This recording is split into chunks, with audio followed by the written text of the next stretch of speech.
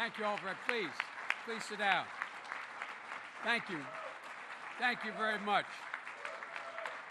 Thank you. You're very kind. Thank you.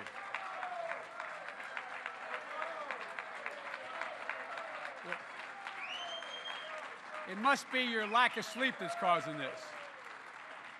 Thank you very much. Well, uh, it's, it's, it's a delight to be back. I really mean it. I, uh, Nancy, you've been kind enough, I think, for all the six years I've been in this job to ask me to come and be with you.